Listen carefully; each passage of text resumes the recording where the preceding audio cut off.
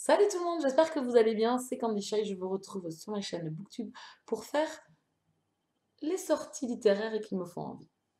Alors, oui, nouvelle vidéo, nouveau concept que j'ai euh, pas inventé, hein, non. Euh, euh, je l'ai trouvé sur la chaîne de Lanila qui le fait. Alors moi je le fais sur le blog, de façon écrite, tous les mois en fait. Je fais un article où je présente les livres qui me feraient très très envie durant le mois de durant le mois qui va arriver en fait. c'est un rendez-vous que je fais depuis déjà plus d'un an ou, deux sur, le blog de façon écrite. Donc aujourd'hui, j'ai décidé de vous le faire également de façon orale et en, vidéo sur ma chaîne. Alors, c'est ce qu'on appelle aussi le On My Wish List. Euh, où je présente également une fois par semaine un livre qui me fait envie. Alors ça peut être sur des parutions qui sont déjà sorties ou sur des livres qui sont déjà sortis depuis plus longtemps que ça. Donc là, je vais en fait scinder la vidéo en deux. Donc d'abord, je vais vous présenter les livres que moi, euh, il me tarde, euh, qui vont sortir et qui me tardent. Et ensuite, je vais vous donner une liste de livres qui vont sortir durant le mois de février et qui pourraient éventuellement vous intéresser. Alors, on commence tout de suite. Le tout premier, c'est euh, The Maddox Brothers, le tome 1, Beautiful Oblivion, de Jamie euh, Maguire, euh, qui est la suite, en fait, de Beautiful Disaster, qui était l'histoire de Travis Maddox, et donc, on avait, euh, on pouvait euh, voir apparaître ses frères. Et donc, en fait, cette euh, saga-là, les frères Maddox sont sur les autres frères de, de Travis. Et donc, celui-là est sur Trenton. Et j'avoue que j'ai très très hâte de le découvrir, vu que moi, j'ai pas aimé Travis mais que les frangins m'ont euh, assez plu, on va dire. Hein, euh. Donc c'est une romance contemporaine new adulte. Enfin, c'est pas dans mes priorités, mais c'est une des sorties que j'attends euh, impatiemment. Ensuite, il y avait Archer Voice de Maya Sheridan aux éditions Hugo collection New Romance, donc une des grosses sorties que j'attendais. Donc je l'ai reçu. je l'ai lu, ça y est, c'est fait, je suis ravie. Donc c'était une des grosses sorties du mois. Je vous mets l'image de suite. Voilà, euh, c'était un régal. Je vous en reparle dans la Gazette de Candy c'était une pépite. Ensuite, qui me fait très très envie, c'est Caroline et West, le tome 1, plus loin de Robin York, aux éditions Milady Romance Collection Grand Roman. Donc ici, on se retrouve dans une romance contemporaine euh, new adulte. Pareil, euh, des histoires entre deux jeunes, entre deux, un garçon et une jeune fille, des histoires assez compliquées. Donc c'est dans le genre littéraire que j'aime beaucoup. Donc la couverture, je vois une première couverture. Je crois que la définitive c'est celle-là. J'espère que je ne me trompe pas. Voilà, donc déjà Milady Romance j'aime beaucoup, donc pourquoi pas?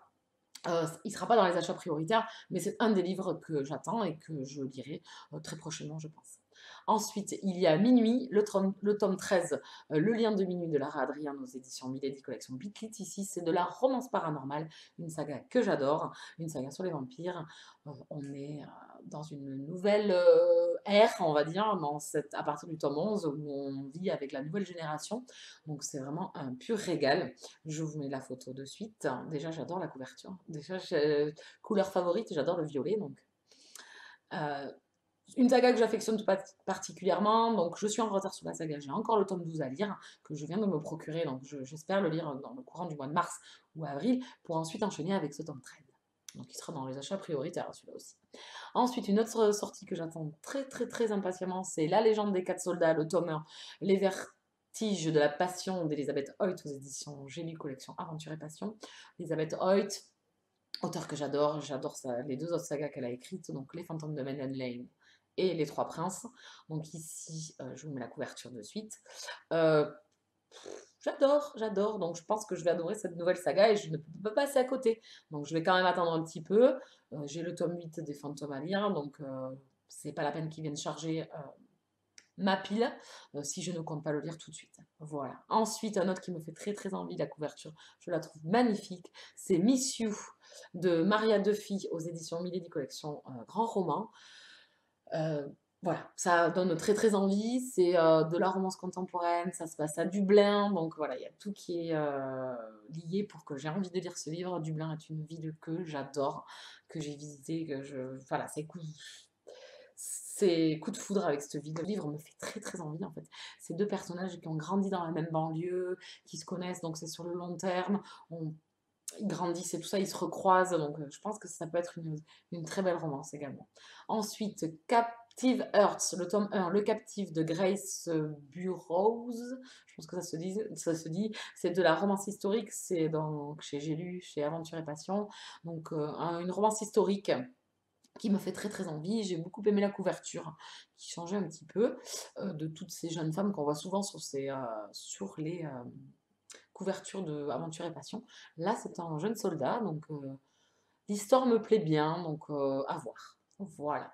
Et ensuite, on va être dans, le, dans les livres où j'ai pas forcément commencé encore les sagas, mais euh, des sagas que je veux lire. Et donc, les parutions, forcément, me font envie. Donc, c'est euh, Between Birds, Breaths, Breaths, je sais pas quoi, tome 2, Before You euh, de Christina Lee, aux éditions, je me rappelle plus les éditions par contre. Prisma, je crois que c'est non, je, vais dire une connerie. Je vous rajouterai la maison d'édition, donc une romance contemporaine new adulte qui me fait très très envie également. Ensuite, il y a Quantum Trilogy, donc le tome 2, Valor, Valorius de Marie Force, euh, que j'ai très très hâte, une saga que j'ai très très hâte de lire. C'est euh, le premier tome, c'est Virtuous. Donc euh, voilà, c'est des sagas que j'ai très très envie de lire chez Hugo Roman, collection de romances. Donc, euh, Wait for You, le tome 3, Je donne du genre de Jennifer elle a Route aux éditions J'ai lu. J'ai toujours le tome 2 à découvrir dans ma palle, donc ça devrait être chose faite ce mois-ci, mais c'est une sortie qui me fait envie. La photo. Et ensuite, il y a une aventure de Lucifer Box, donc euh, L'ambre du diable de Marc Gatis aux éditions Bragellone, donc toujours de superbes couvertures. Je vous mets la photo. Et euh, j'ai très hâte de découvrir cette saga. Le tome 1 est sorti déjà depuis un petit moment. Il me fait très très envie. Donc je pense qu'il n'y a plus qu'à. Alors ensuite, sur les livres que vous pourrez apprécier, je pense, on a en sortie prévue au mois de février, donc le tome 2 de La Lettre Noire euh, de Cecilia Correa qui sort euh, donc le 24 février aux éditions J'ai lu. Je vous mets la couverture. Voilà, on est dans de la fantasy, dans de l'urban fantasy. C'est une auteure française. J'ai lu le tome 1, j'ai bien aimé. Actuellement, je, vais pas sauter sur la, parution du tome 2, mais je pense que je lirai la suite. Euh, c'est une lecture qui m'avait... Euh, je sympa, mais sans plus. L'héroïne m'a un peu agacée. Et j'avais lu de Cecilia Correa le manuscrit proscrit de Nurjan, qui là, par contre, a été un énorme coup de cœur.